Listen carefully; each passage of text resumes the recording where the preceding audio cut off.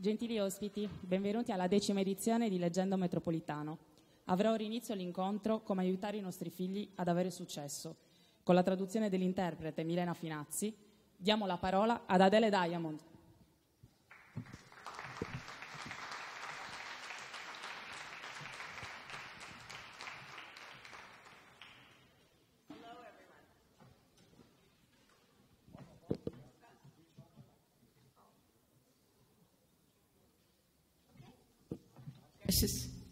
Good, now you can hear me.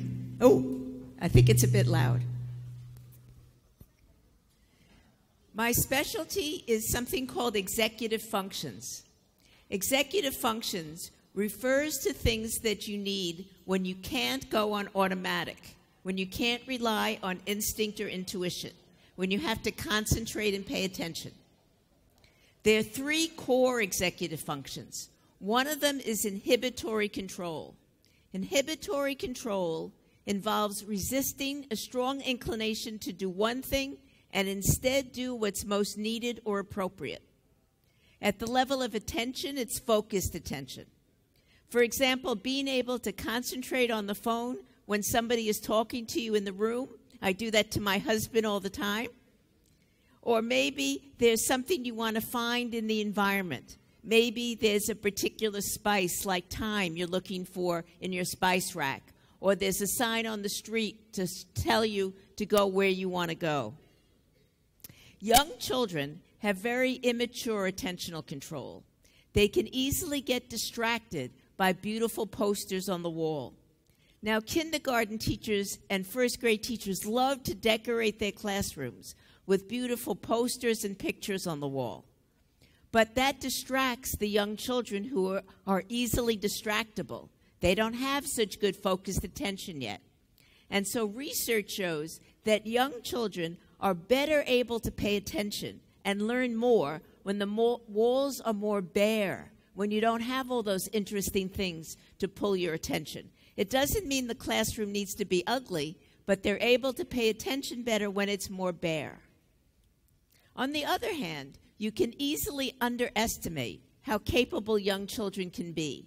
And I'm going to show you a video in a second of a three year old who's showing really remarkable perseverance and focused attention, even though there are lots of distraction in the environment. There's no sound on here, but it'll be very clear what he's doing.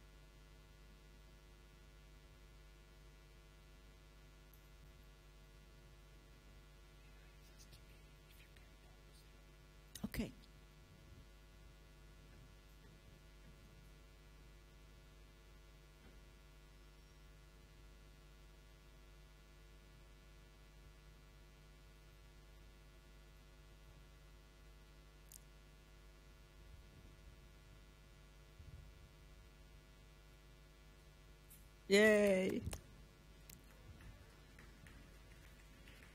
Now, how many of you would have had the patience to wait this whole time? He's so close. You know that he knows what he wants to do. You're tempted to want to go in there and help. So it's important to be patient. Give children time to figure things out on their own. Don't interve- intervene too early to help out. We adults tend to want to do for children, but less is more. When a child's struggling, our first inclination is to get in there and want to help. But if you solve the problem, you're the strong, heroic one, and the child is the weak, needy one. Have faith in the child's abilities and intellect. The second uh, aspect of inhibitory control uh, is self control the level of behavior. And that involves resisting temptations, not acting impulsively, thinking before you speak or act. And for little children, so much of what they do revolves around demands on inhibitory control. Wait your turn, raise your hand, don't grab another child's toy, don't eat sweets before dinner, don't pee in your pants. There are all of these don'ts. And for all of us, there's many times we need self control, in every day. For example, don't blurt out the first thing that comes to mind. Resist acting in the heat of the moment, like when you write a really angry email message, but you don't press send right away. Not to jump to the conclusion about what something must have meant, because we can often be wrong. To wait. And the discipline and perseverance to resist the many temptations to quit and not finish what you started to stay and finish the task, even though maybe it's so easy you're bored or it's so difficult you're frustrated, and certainly there are more fun things you could be doing. To continue to work, even though the reward might be a long time in coming, to be able to delay gratification. All of that requires self control.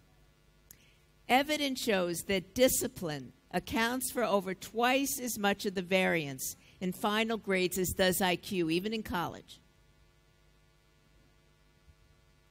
Self control saves us from putting our foot in our mouth or making a social faux pas. Think of all the trouble you'd get in if you told your boss what you really thought of him or her. If you grabbed whatever you wanted without asking or paying, or did other socially inappropriate or hurtful things.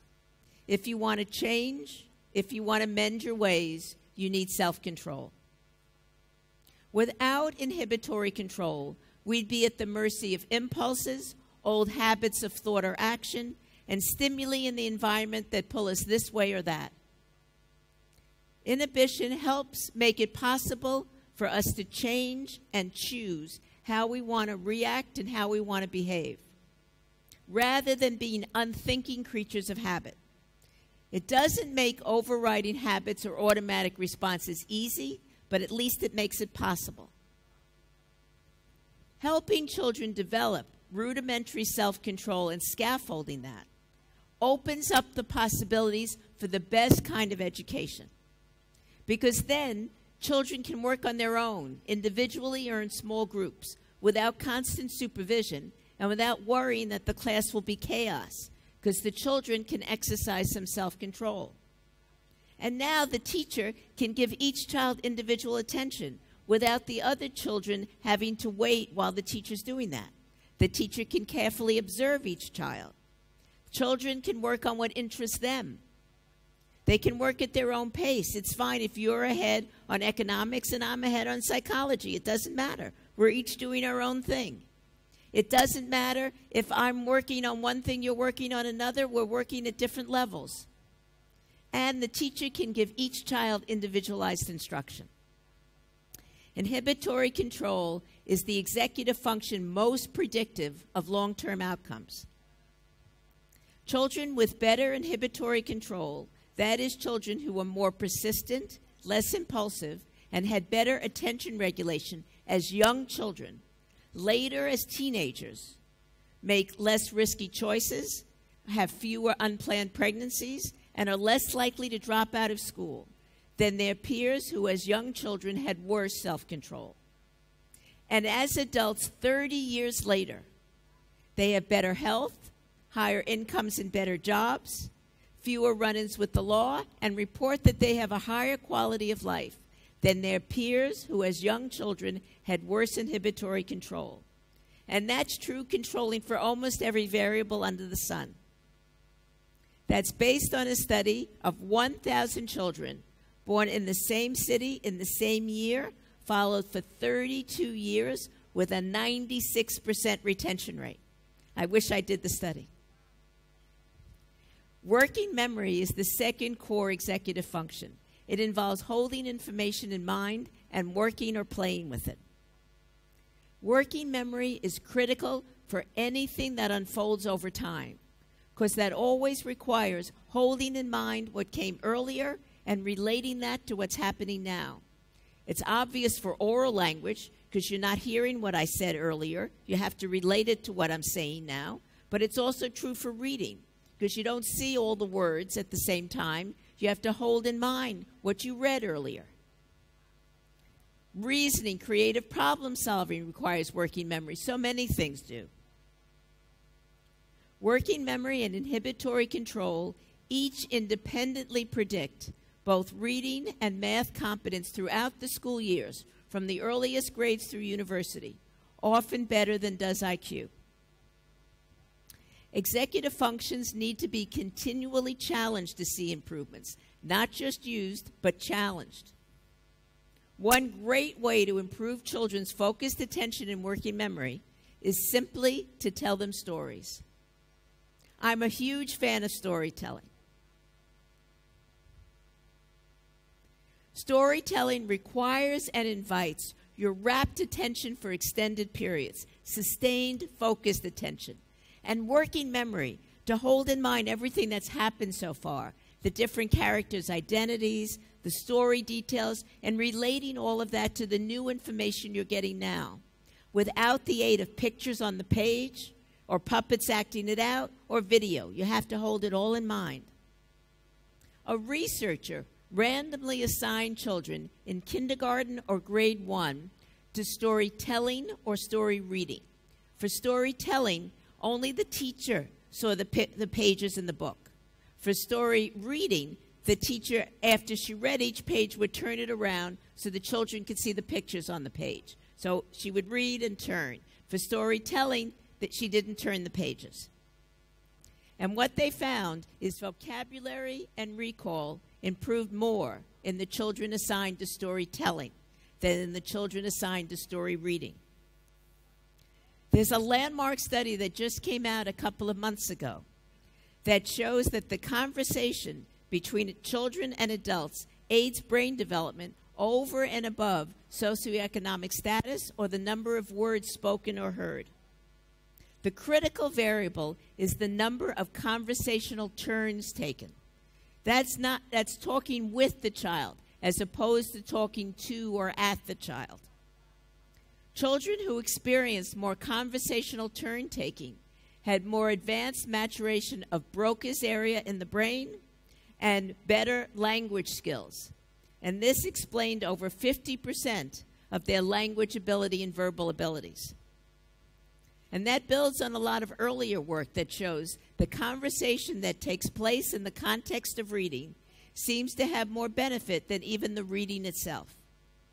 The more interaction, the more conversation between the story reader or the storyteller and the children, the more actively engaged the children are, the more their vocabulary improves. Maybe that's one reason the researcher found better results from the storytelling. Because in the storytelling, you maintain the eye contact with the child. You're inviting the child in more. Whereas if you're doing story reading, you have to keep looking down at the page, breaking eye contact with the child. We don't know that's the reason, but that's one possibility. So, this is a wonderful scene, but this is also good, where only the speaker sees the pages in the book. While story reading is wonderful, I encourage it, storytelling should improve attention and working memory more because it challenges them more. You may think that children need basic literacy skills to be ready for school. They don't. Children need basic language skills, oral language, to be ready for school. Oral language is the foundation of literacy. Young children need to be exposed to a lot of rich oral language. Vocabulary assessed at age three strongly predicts reading at ages 9 to 10. Over the course of evolution, our brains became adapted for oral language. We're biologically predisposed to acquire oral language. But we have no biological predisposition for reading or writing. They're too new. They're, they're too new uh, in terms of cultural inventions. So some children can learn to read early, easily. But other children, because we don't have this biological predisposition, can't learn to read early. They can't learn to read till maybe they're seven years of age. We don't want children to feel like failures. We don't we want children to love learning and love school and believe that they're capable. It's more important that children don't think they're dumb and can't succeed in school than for them to start reading at an early age. In Finland, they don't start school till they're 7 and by grade 4, Finnish children score better than children anywhere in the world on the standardized exams. There's a very powerful role of the expectations we have for ourselves. We don't want a child to start coming with an expectation that I can't succeed in school and I can't do this, because then he won't be able to. An example of how expectations affect us can be seen in something called stereotype threat, which is a little cottage industry in social psychology. There are many stereotypes in our culture. One of them is that in general, women are worse in math than men. And sure enough, when a research group went to a university and gave a standardized math test, as a group, the male students performed better than the female students. That's usual. Then they took the exact same exam to an exactly comparable group of university students. The only difference was before they gave the exam, they said this particular exam has been designed to be gender neutral. On this particular exam, women score as well as men. And what happened? The women scored as well as the men. It was the same exam. The only difference was the expectations the women had for themselves. Avoid children having failure experiences. Hold off on requiring that four, five, or six year olds be able to read. Don't hold anybody back. If the child can read early, that's fine, but don't require it. The child who starts to read later is going to be just as good a reader as the child who starts to read early. Children drilled in reading in kindergarten will test better in reading at the end of kindergarten than children who only do oral language in kindergarten. But by the end of second grade, I predict that those steeped in oral language in kindergarten will be the better readers. Children need to believe in themselves. And there are two roots to that. One is they need to feel that we believe in them, that we fully expect them to succeed. It's important to communicate loud and clear the faith and expectation that each child is going to succeed, is going to find his way. Toddlers fall on the way to walking. I've never seen a toddler who's so brilliant at walking. The first time they get up, they walk perfectly and they never fall. They fall. They may fall four or five times on a given day. It would never occur to us to say to the toddler on that day, You get a D in walking today. We never say that. What do we say? We say, Don't worry, I'm sure you're going to be able to do this. We all say that. How different is that from what children hear in school? What they hear in school is you get a D today. Instead of, there's no question you're going to be able to do this. And we together are going to figure out a way to make that happen. Your expectations for how a child will perform have a huge effect on how that child does perform. If you expect to see problems, you will. If you expect to see strengths, you will. Focus on children's strengths rather than on their weaknesses and failings. Help them discover their strengths and their passions. Goethe said, treat people as if they were what they ought to be, and you help them become what they're capable of being. Our expectations for children with disabilities or from disadvantaged backgrounds are often far too low. Better to always be open to the possibility that any child might go on to do amazing things. The other route to children believing in themselves is to give them doable challenges so they can see for themselves that they're capable. It's not enough for you to say, I see that you're capable. They have to see it for themselves or they don't believe you. Not giving children challenges is doing them a disservice. Show you believe in them by letting them take on hard challenges. If you don't let them try, they won't fall on their faces or fail or get hurt, but they never have a chance to excel either or prove to themselves that they can do it. Give a child the time and space to figure out things on his or her own. Another way to show children we believe in them is to give them an important responsibility. There's a study that shows this, and it was funded by Coca Cola, so it's called the Coca Cola Study. In a school in the U.S., there were fifth graders who were very bad behavior problems. They were giving the school a lot of trouble. And they were also terrible readers. And the administrator of the school came to the children and said, I have a very important responsibility for you. This is very serious. I would like you to tutor the second graders who are struggling in reading. They couldn't read better than the third graders, but they read better than the second graders, so they could tutor them. Very shortly, the behavior problems disappeared. And by the end of the year, not only were those second graders reading better, but the fifth graders were reading better too. Empower children. Give them a voice, a say in the decision making. Give them some sense of ownership about what's happening in the classroom and in the school. Let them help solve problems you're working on. Find ways so that a challenged child can be included in everything. Create opportunities for that child to interact with others in safe, circumscribed ways. Interacting one on one or with a few children may be less overwhelming than interacting with a whole class. Let each child progress at his or her own rate and choose what to work on. Imitation is an easier, simpler relationship to understand than normal human interaction. And here, a child with an autism spectrum disorder can be in charge if you're doing imitation, which is not usually the case. I'm going to show you a short video next, and let me tell you what it is. First, you'll see an excerpt from three minutes where the experimenter is just sitting on a, on a sofa stone faced. She doesn't say anything, she doesn't do anything, no expression. And the severely autistic child doesn't even notice her, doesn't pay any attention to her. He's just exploring the objects in the room. Then, for the next three minutes, the experimenter gets up and she's going to imitate everything the child does, very carefully, watching him and imitating him. And then for the last three minutes, she's going to go back to the sofa and sit stone faced. No expression, no reaction.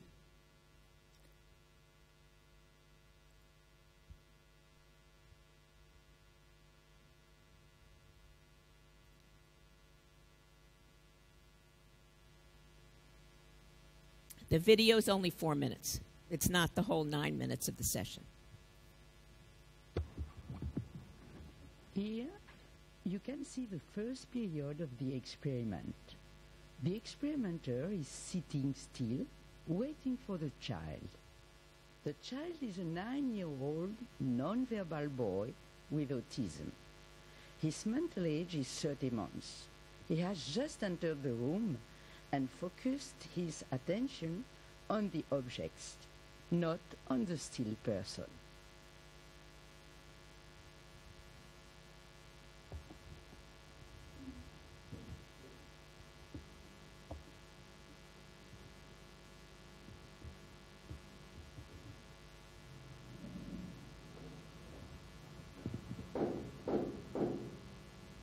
After three minutes, the experimenter walks to the child.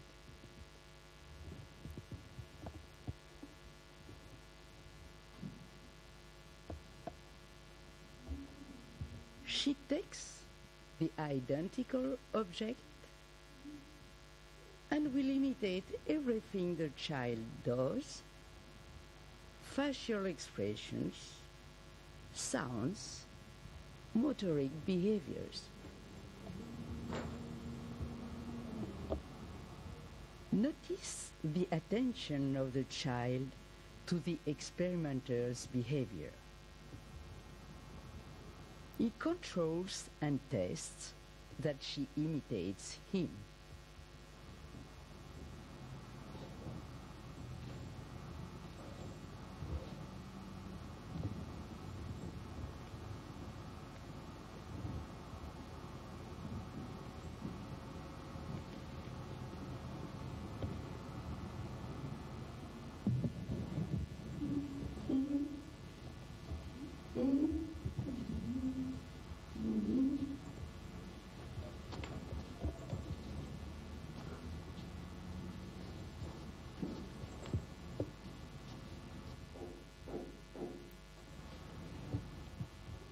Three minutes later, the experimenter walks to the sofa and poses a still face again.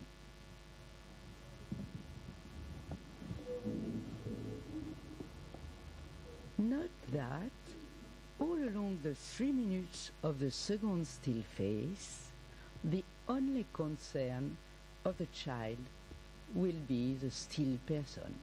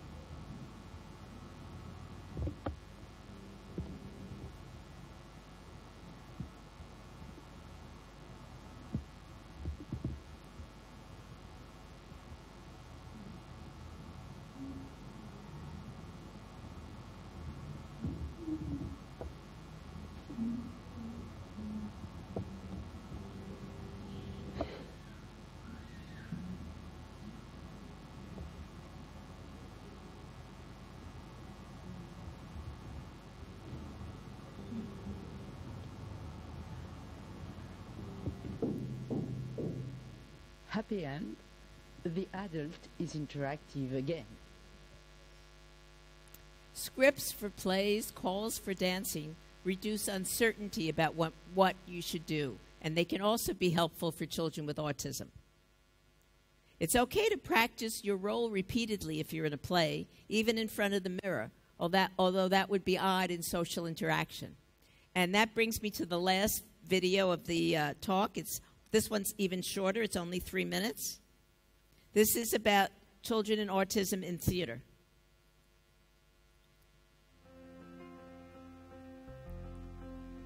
Sense theater was started with the idea that the theater is an ideal environment to teach a variety of skills that children with autism especially need to learn.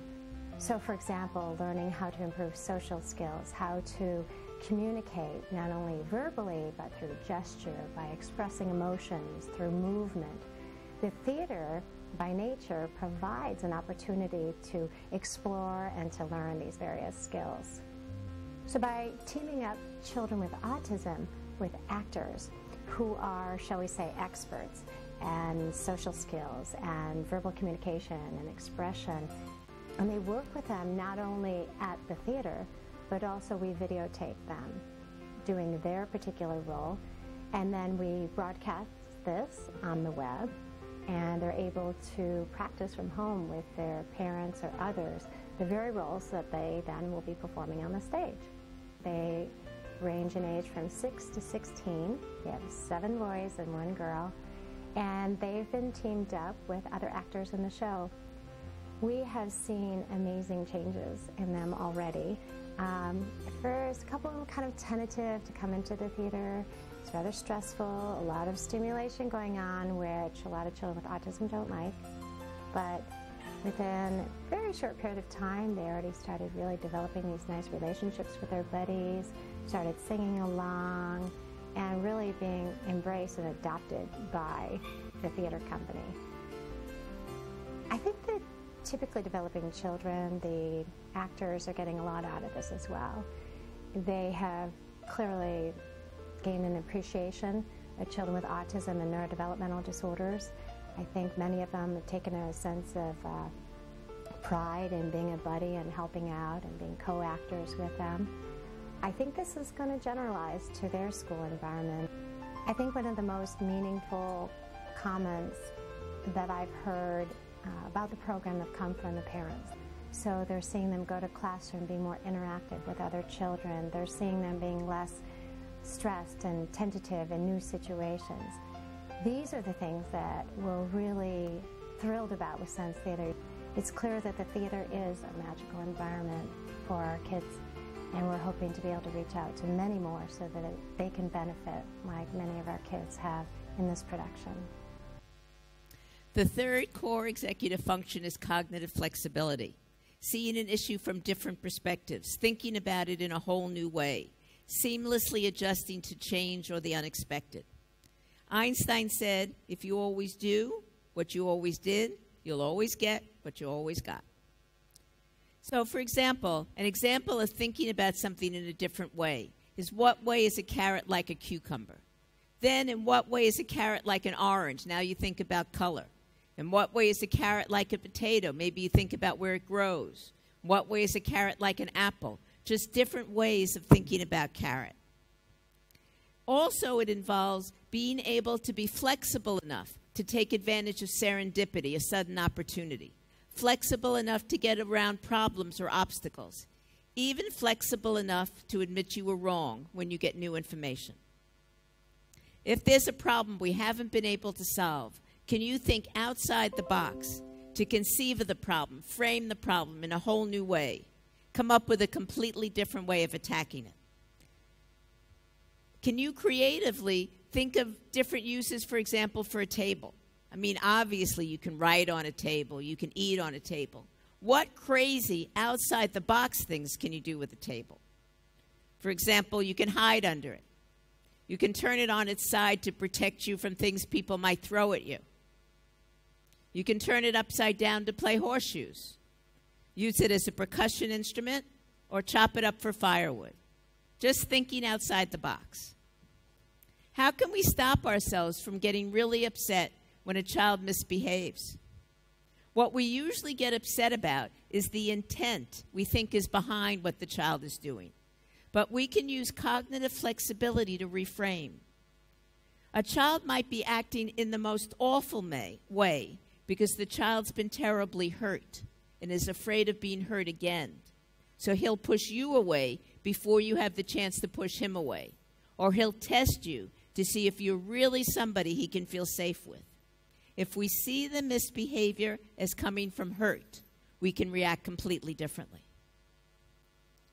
So the three core executive functions then give rise to higher order executive functions like problem solving, reasoning, and planning.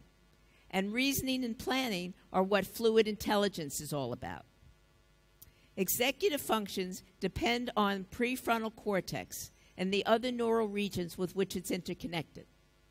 Prefrontal cortex, the area of the brain I specialize in, is overrated.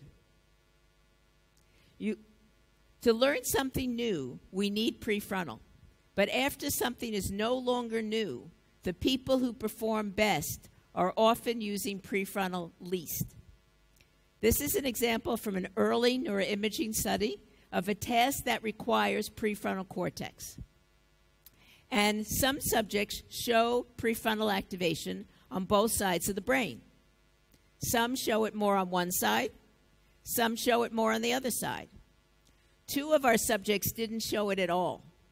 These subjects are Ruth Brigida and Kathy O'Craven, my colleagues, collaborators on the study. And because they were familiar with the task, prefrontal activation dropped out. When something's new, those who recruit prefrontal most usually perform best. But when you're really good at it, you're usually not using prefrontal cortex so much. We want tasks to be so familiar and well learned that prefrontal cortex is no longer needed. We want the task to be handed off to older regions of the brain that have had far longer to perfect their functioning and can, can subserve that task ever so much better than can, prefrontal can. When we try to be in control, we don't do things nearly as well as when we aren't trying to be in control. When we try to force things, we tend to mess them up. A child may know intellectually, at the level of prefrontal cortex, that he shouldn't hit another. But in the heat of the moment, if that knowledge hasn't been passed on from prefrontal to older regions of the brain, the child will hit another. Even though if you asked him, should you hit, he says no, he knows you shouldn't do it. It's the difference between knowing it at an intellectual level and having it be second nature or automatic. The only way something becomes automatic, becomes passed off from prefrontal, is through action, repeated action. Nothing else will do. There's been great interest in trying to improve executive functions.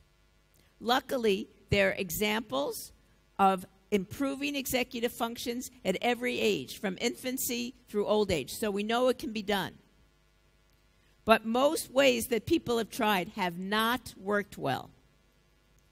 Executive function training transfers, but the transfer is narrow. What that means is that you improve on what you practice, and that transfers to other contexts where those same skills are needed, but you only improve on what you practice. Improvement doesn't transfer to other skills. There's been a lot of interest in computerized cognitive training, like Lumosity, CogMed, etc. If you train on nonverbal working memory, it doesn't even generalize to verbal working memory usually. If you train on one type of reasoning, it doesn't generalize to a different type of reasoning. The transfer is very narrow. CogMed is the computerized method for training working memory with by far the most and the strongest evidence. Over 80% of the studies find that CogMed makes for improvement on what you train on CogMed. But only one third of the studies find any transfer to anything else that you did not train on specifically in CogMed. Thus, it's fair to conclude that working memory computerized training improves working memory, but the results have generally been disappointing with narrow benefits that fade away in several months' time. If improvement in multiple executive function skills is your goal, then you need to engage in activities that require and train each of those different skills. Executive function gains from training in traditional martial arts and certain school curricula have been wider. It's not that the generalization is wider, it's that these programs train more different executive function skills, and so you get narrow transfer to each of those different skills. There's been very little study of CogMed with older adults, but working memory deteriorates earlier and more severely during aging than most other cognitive skills.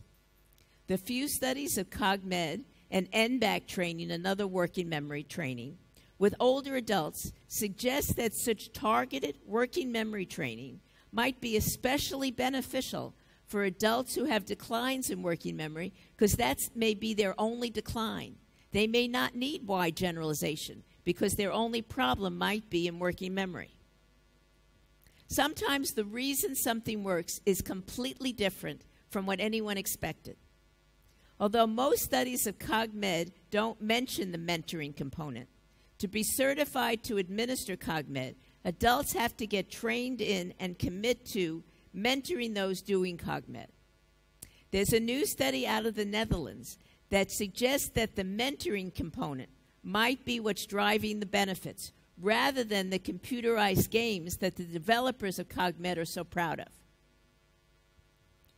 Whether executive function gains are seen depends on the way an activity is done. Researchers randomly assign children in kindergarten through grade 5 either to traditional taekwondo or to standard phys ed, and they did this all year, these programs. At the end of the school year, the children in Taekwondo showed more gains in all the dimensions of executive function. And this generalized to multiple contexts and was seen on multiple measures. Traditional martial arts emphasize self control, discipline, inhibitory control, character development. For example, you're not supposed to go in there and immediately go for your opponent. You're supposed to wait, use inhibitory control. Wait until your opponent is slightly off balance. Maybe he's going for you. And now go in and take advantage. So you have to exercise self control. In a study with adolescent juvenile delinquents, one group was trained on traditional Taekwondo, the other was trained on modern martial arts. Martial arts only as a physical activity, only as a competitive sport, nothing about self control or character development. Those in traditional Taekwondo showed less aggression and anxiety and improved in social ability and self esteem. But those in modern martial arts showed more juvenile delinquency and aggressiveness and decreased self esteem and social ability. A relatively understudied approach is mindfulness practices involving movement, and that includes things like Taekwondo, Tai Chi, Chinese mind body practices, and an Italian program called Quadrato Motor Training. And these have shown the strongest benefits so far of any method tried to improve executive functions. Now, often initial findings look strong and then they don't hold up in subsequent studies. And there have only been eight studies of these mindfulness practices that involve movement. But 100% of those studies have found benefits to executive function. No other approach to improving executive functions can claim anything like that.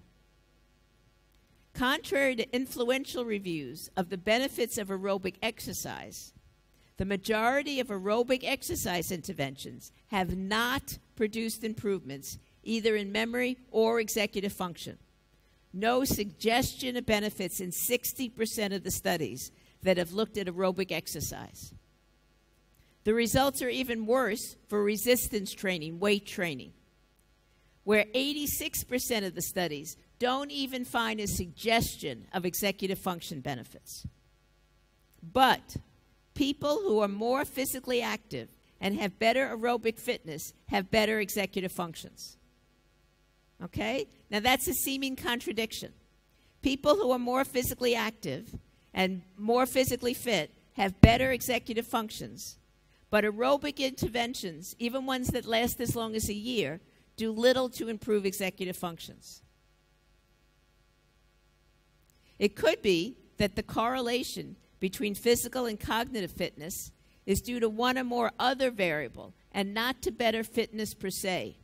For example, it might be that the people who are more physically fit have the good sense to eat better and get more sleep, and maybe that's why they have better executive functions.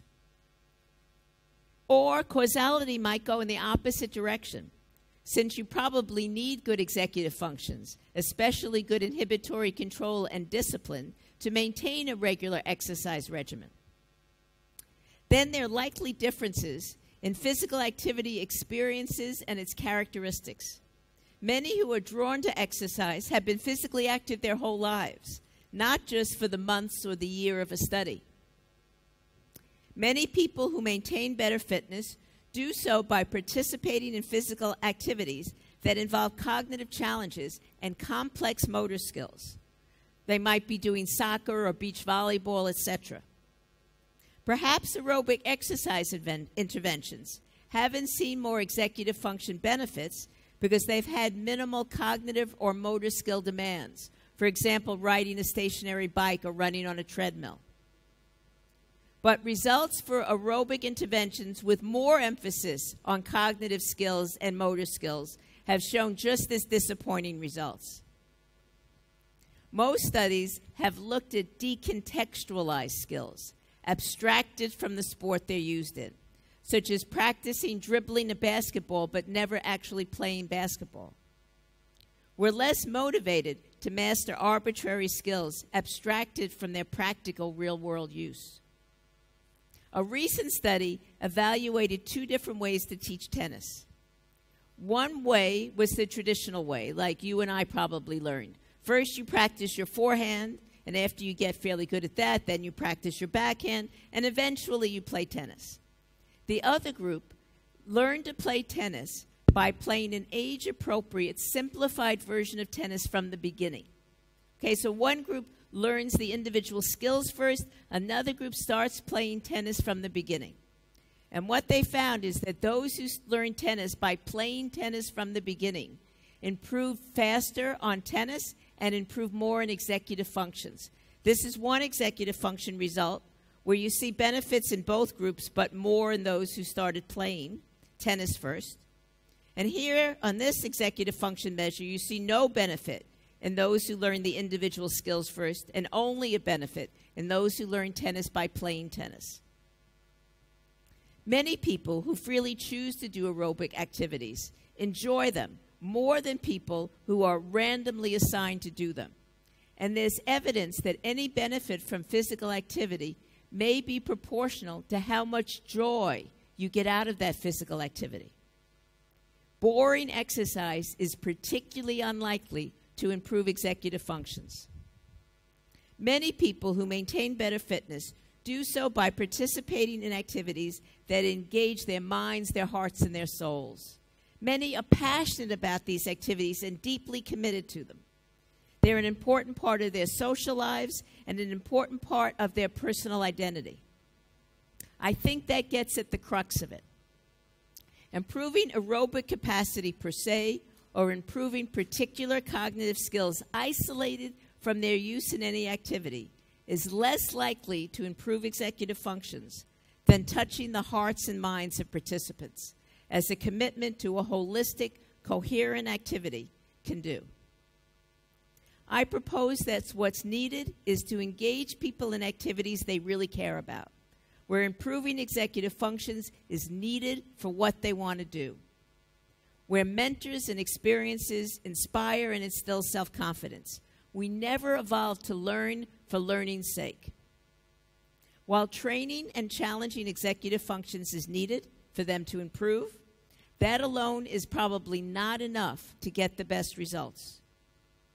It's likely that indirectly supporting executive functions by lessening things that impair them and enhancing things that support them is also critical. And here's why. Prefrontal cortex is the newest area of the brain over the course of evolution and the most vulnerable.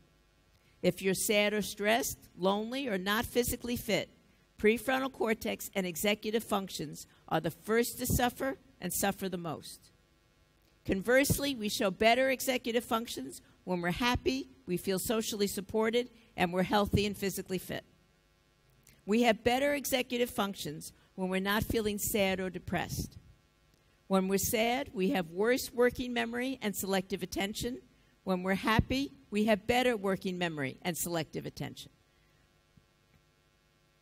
The most heavily researched predictor of creativity in social psychology is mood. The most robust finding is that a happy mood leads to greater creativity, specifically in the sense of better cognitive flexibility. It enables people to work more flexibly and to see potential relatedness among atypical or unusual members of categories. It's important children do things that give them joy. Joy is not the opposite of serious. There's no reason why serious business like learning can't be joyful.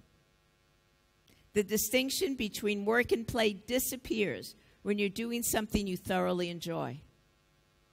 Are these children working or playing? They'd love to do things in the kitchen. Are these young people working or playing?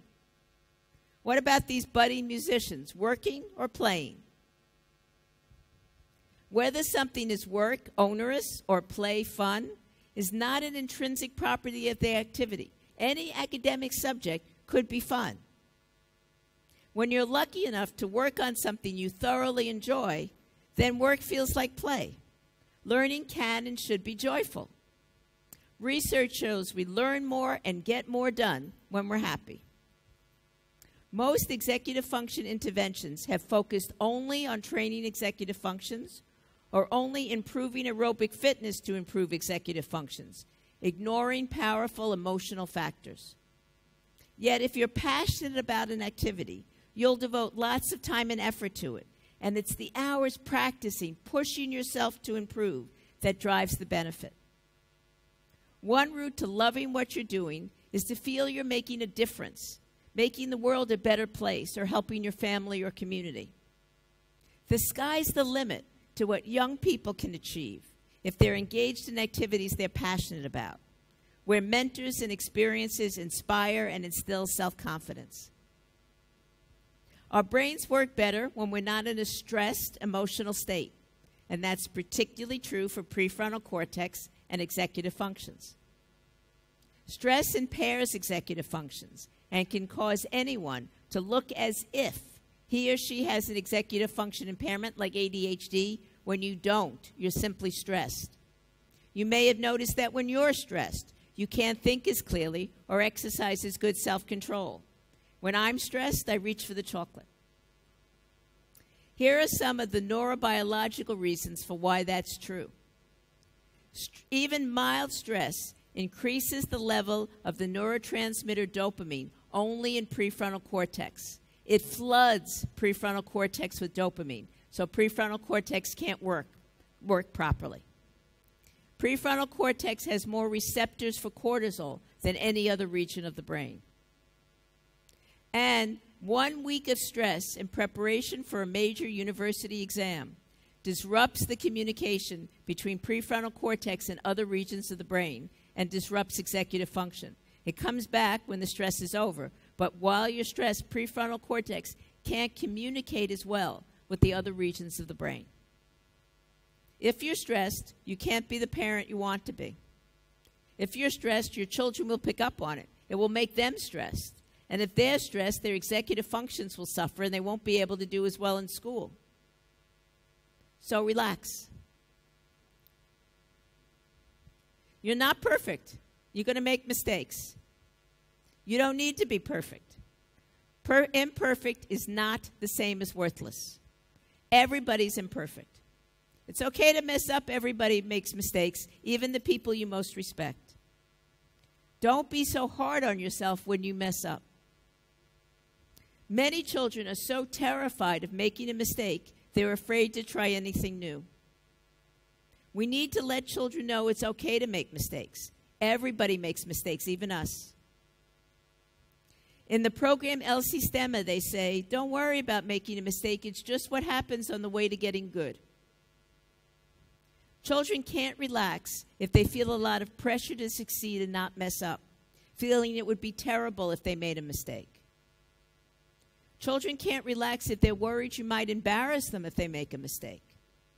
They need to feel safe to push the limits of what they know, venture into the unknown, to take the risk of making a mistake or being wrong. The only way to completely avoid mistakes is to stay with what you already know and stop growing. Right? Because by definition, if you go beyond what you know, you don't know. So you have a 50 50 chance of being wrong. If you want to be sure you're not wrong, then you stay with what you know. But if you stay with what you know, you don't learn and you don't grow.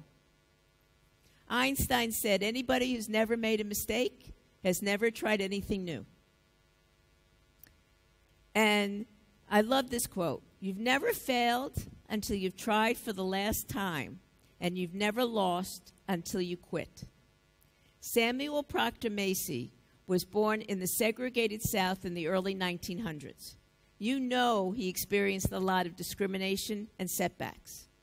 Yet he rose to become one of the most decorated chemists of the 20th century, the first African American professor at the U.S. Naval Academy. You haven't failed until you stop trying. Help children see that we all have limitations and we all have gifts and contributions to make. Help children accept that they do have whatever problems they have, but also help them to not let them limit what they can do. When one door closes, another door opens. But we often look so long and so regretfully upon the closed door that we do not see the ones which open for us. Life is difficult. Yet once you accept that life is difficult, it ceases to be difficult. It's just what is. Once suffering is accepted, it ceases to be suffering. Our brains work better when we're not feeling lonely or socially isolated. And that's particularly true for prefrontal cortex and executive functions. We are fundamentally social. We need to belong. We need to fit in and be liked. Children who are lonely or ostracized have more difficulty learning. What do children need most? That's simple to be loved, to know that you care deeply about them. That's all they need. Your humanity is more important than your knowledge or skill or doing the textbook perfect thing. That's it. That's all you have to do to have great children. Just love them. People who feel lonely or are focused on anticipating being lonely show worse executive functions than people who feel or anticipate feeling more socially supported. In one study, they gave subjects a survey when they came in the lab. And embedded in the survey were questions like Do you feel lonely? Do you feel socially supported? And what they found is prefrontal cortex worked less efficiently in people who reported they felt lonely or ostracized. Being socially excluded activates the very same brain network as that for physical pain. And the more social pain you're feeling, the more active this network is. We need to feel that people who care about us believe in us and will be there for us. And we need to feel we're part of something larger than ourselves. A, a researcher from the UK named Melhuish looked at early education around the world, every country he could get data for. And he found that the variable that matters most in determining the outcomes of early childhood education is not the number of children, it's not the adult child ratio, it's not the quality of the materials. What matters most is the caring relationship between the adults and the children. Early life stress can cause accelerated telomere shortening. Telomeres are the protective tips at the end of chromosomes. You can think of them like the plastic tips on the end of your shoelaces that keep your shoelaces from fraying. Telomeres keep chromosomes from fraying. So a cell dies when its telomeres get too short. So you can sort of think of telomeres as determining the lifespan of cells and therefore the lifespan of us. By five years of age, children who've experienced two or more early adverse experiences have shorter telomeres already by age five than children who haven't experienced these um, uh, bad experiences. And by age 10, the difference is even greater. But maternal sensitivity and warmth can completely override the effect of early adversity on telomere length, completely override. So here's what I said before the children exposed to bad experiences growing up, really adverse experiences, have shorter telomeres than the children who've had good experiences. But this group has just as bad experiences, but were lucky enough to have terrifically responsive moms and their telomeres are absolutely the same length as those who haven't had any of the adverse experiences. And that's the study. This is probably also true of dads. It's just that the research so far has been done only on moms. The single greatest mitigating factor to early adversity or trauma is terrific mothering, responsive parenting by a caring, warm adult. I don't think it has to come from a mom or even a relative. Remember, I talked about before responsive parenting, listening and taking turns in conversation with your child also aids the maturation of brain regions that are important for language development. We're not just intellects with emotions and social needs, we also have bodies. The brain doesn't recognize the same sharp division between cognitive and motor function that we impose in our thinking the same or substantially overlapping brain regions subserve both cognitive and motor function. For example, an area of the brain called the pre SMA is important for sequential tasks. And it doesn't matter whether they're sequential motor tasks or sequential cognitive tasks. Motor development and cognitive development appear to be fundamentally intertwined.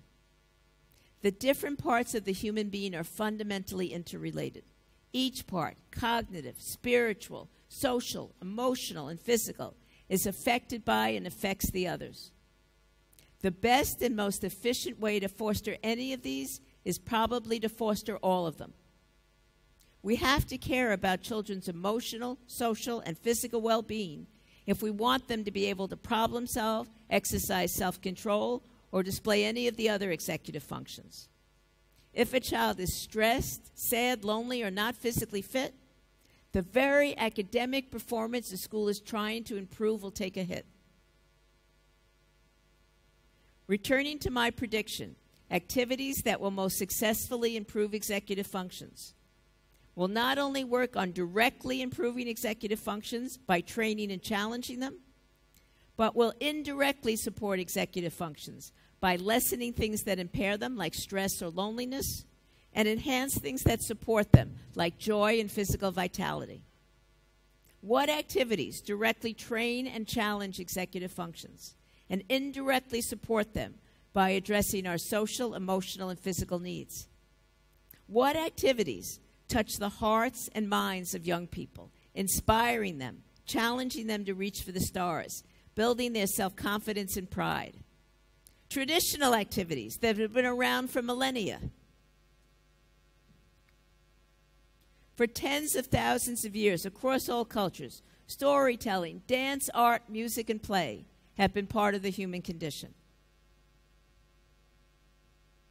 People in all cultures made music, sang, danced, did sports, and played games. There are good reasons why those activities have lasted so long and arose everywhere. These activities challenge our intellects, our executive functions, make us happy and proud, address our social needs, and help our bodies develop. They require planning, cognitive flexibility to respond to unexpected reactions or difficulties, perseverance even in the face of setbacks or failure, creative problem solving, indeed, all the executive functions. The distinction between academic and enrichment activities is arbitrary. Critical executive function skills like reasoning, problem solving, self control, working memory, and cognitive flexibility, all of these can be taught through the arts, wilderness survival, physical activity, carpentry, auto mechanics, or play. Key is that the person really love the activity and really want to do it. So he or she will spend a lot of time at it, pushing him or herself to improve. The activity could be almost anything. Could be caring for an animal, could be doing a service activity or anything out in nature. I fear that activities needed for children to thrive are being cut from school curricula and from children's lives. Focusing exclusively on academic instruction, as mainstream education tends to do, may not be the best or most efficient way to improve cognition. Addressing children's social, emotional, spiritual, and physical needs may be key to whether they do well in school and in life. Nurturing the whole child may be critical for achieving the outcomes we all want for our children. Thank you very much for your attention.